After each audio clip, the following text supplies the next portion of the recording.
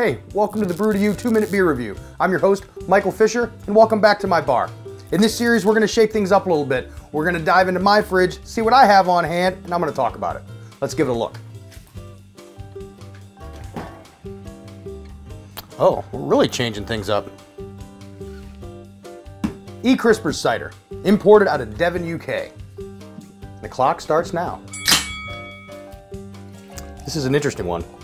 Imported by Heavy Seas. It's made from 100% cider apples, which is very unique for cider in America. There's no actual cider apples to speak of in the United States, so there's no cider actually being made from 100% cider apples. I'm not a huge cider guy, I don't drink a ton of ciders, but this one really speaks well. I think it speaks well to me. It's, it's a very good example of a cider. 34 different apples go to make this one. Actually, some of the apples are kind of interesting.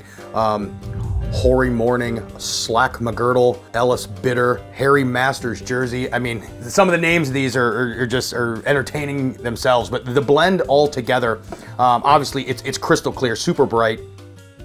It's got a really nice, uh, you get a really nice apple aroma to it, obviously what you'd expect. Uh, it, it's not overly carbonated, but definitely has some of that bite to it. A true cider is going to be pressed fruit.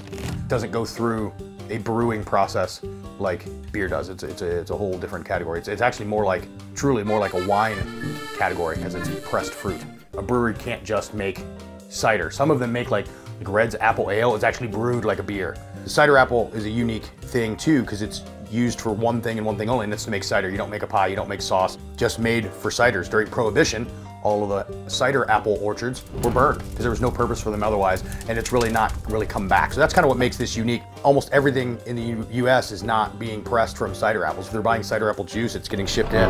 But I think it's a nice shakeup. If you're a serious craft beer person, I think this one speaks much louder to the serious craft beer person or the craft beer connoisseur because it's well balanced, it's not overly sweet. It's, it's just nice. It's nice, it's, it's a different change of pace. It's definitely not something I'm going to drink a case of a week. I don't just drink craft beer. You might be shocked over the course of time of some of the things that you see that I like or that I drink. But drink what you like, man. Get out there and have a cocktail if that's your thing. Oh, that sound means it's last call. Bar's closing again. Shout out to E. Krispers and a special shout out to Heavy Seas. Thanks for bringing this stuff to America. We really appreciate it. If you'd like to see me talk about one of your favorite beers, see if we can't get it in my fridge. Comment below or send a message out to us, and we'd love to look into it for you. Thanks again for stopping by. We'll catch you next time.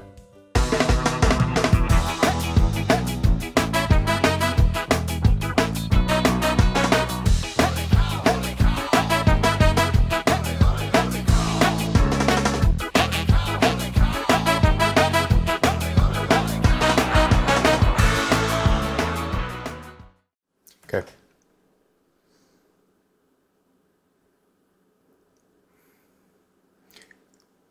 Ah. So, hey, welcome to the Brew to You.